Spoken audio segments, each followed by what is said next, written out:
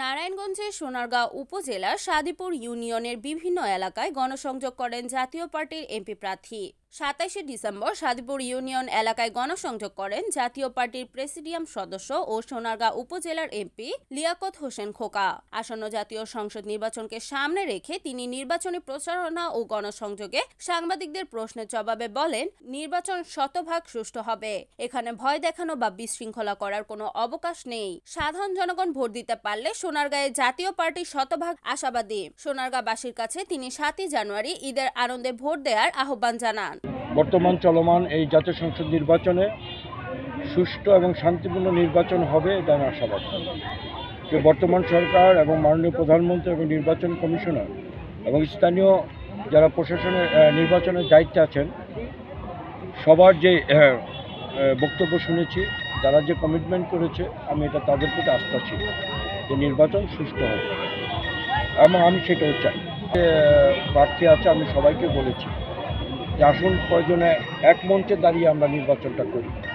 শোনা, আমার বিভিন্ন এলাকার যারা তাদের সমর্থক আছে, তারা জনগণকেও যেমন হুমকি দিচ্ছেন যে ভোট কেন্দ্রে যেতে পারবে না হ্যাঁ আর তদ্রূপ আমার নেতা কর্মীদেরকেও এভাবে হুমকি ধুমকি দিয়ে যাচ্ছে। তবে আমার নেতা কর্মীরা এবং জনগণ তাদের হুমকি ধমকিকে আমি অত্যন্ত প্রাউড ফিল করছি আমার জনগণকে নিয়ে। তারা হুমকি ধমকিকে তোয়াক্কা করছে না। তাদের স্ট্যান্ড নিয়ে তারা আছে এবং তারা ভোট দেওয়ার জন্য প্রস্তুত।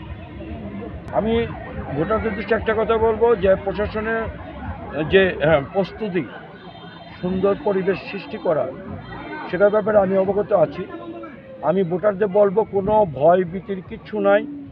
আপনারা ঈদের উৎসবে ঈদের আনন্দ নিয়ে আপনারা ভোট কেন্দ্রে যাবেন, আপনাদের নিজস্ব প্রার্থীকে, আপনারা পছন্দের প্রার্থীকে আপনারা ভোট দিতে পারবেন। এটার মনে, যারা হুমকি, ধুমকি, অপপ্রচার চালাচ্ছে, এটা ভুয়া।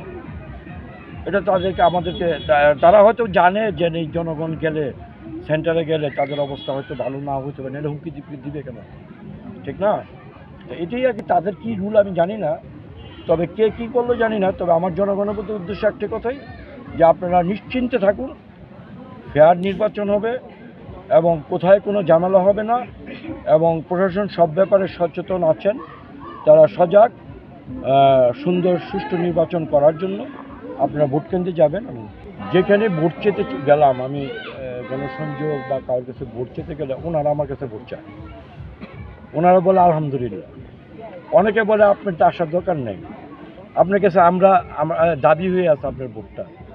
আমরা চাই শান্তিতে রেখেছেন আপনারা। আপনি দশটি বছর, আমরা আগামীতে শান্তিতে থাকতে চাই আপনার মাধ্যমে। Khandakar Sohag NN TV Narayanganj.